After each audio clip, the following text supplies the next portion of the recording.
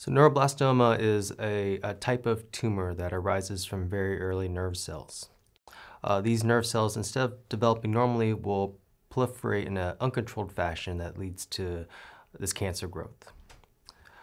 These typically occur in the adrenal glands, which are in the abdomen, but they can occur in other parts of the body, such as the chest, the pelvis, or even the neck. Uh, and these follow along the sympathetic nerve chain, which runs on both sides of the spinal column. These tumors can grow to be very large, and they can spread to other locations such as the lymph nodes, the lungs, the liver, or even the bone. And sometimes these tumors can even invade into the spinal canal.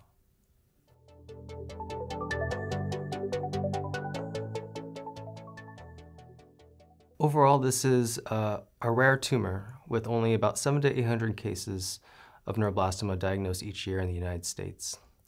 Uh, however, still, it is still one of the most common tumors that we see in children. These most commonly occur in children that are less than five, but occasionally we do see them in infants and even teenagers, and on very rare occasions in young adults.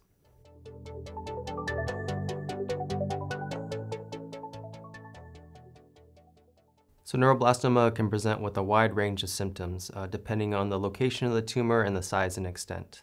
Sometimes the only finding is a hard palpable mass. Other times it can present with uh, symptoms such as pain, uh, generalized weakness, fevers, lethargy, loss of appetite, and other nonspecific symptoms.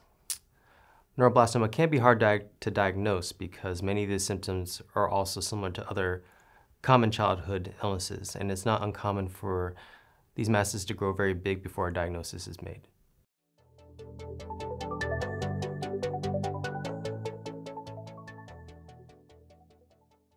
So treatment for neuroblastoma depends largely on its involvement and extent, as well as the patient's age and the underlying biology.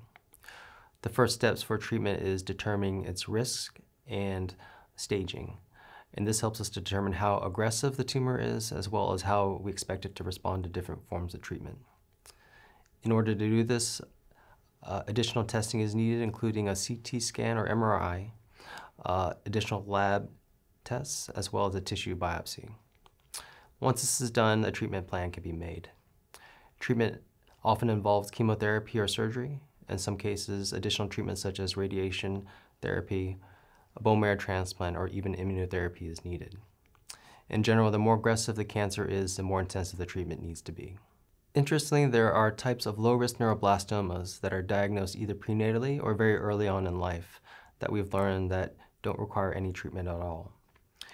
We actually observe these only, following them with serial imaging and lab values, and learn that most of these will basically mature into a non-cancerous form and not require any type of surgery or chemotherapy.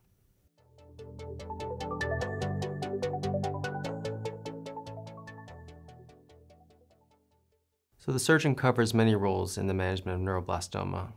Uh, first and foremost, the surgeon plays a role in establishing the safest and best way to make a diagnosis through a tissue biopsy.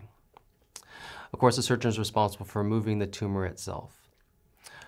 These tumors can grow to be very large and they can also wrap themselves around very important structures in the body and the surgeon needs to be experienced to be able to remove this completely and safely without any long-lasting complications towards the patient. Just as importantly, the surgeon needs to be experienced and knowledgeable to know when a more aggressive resection is not necessary or even when surgery is not necessary at all. The surgeon also plays a role in other parts of the treatment, including placing special lines that are needed to deliver chemotherapy, um, feeding tubes to help maintain nutrition when they're needed, and also uh, we perform procedures that assist with fertility preservation.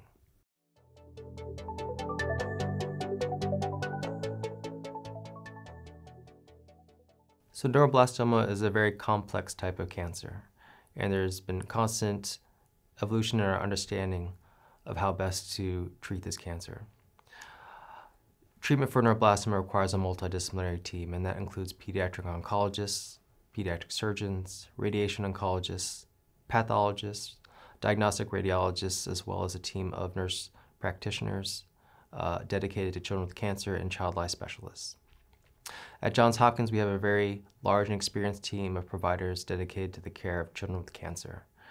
We have specialists in neuroblastoma as well as leaders in the Children's Oncology Group, where most of the treatment protocols for neuroblastoma and other cancers are developed. I believe the team approach is essential, and as a team, we look at each patient with neuroblastoma individually and work with the family to ensure they're on the best pathway possible.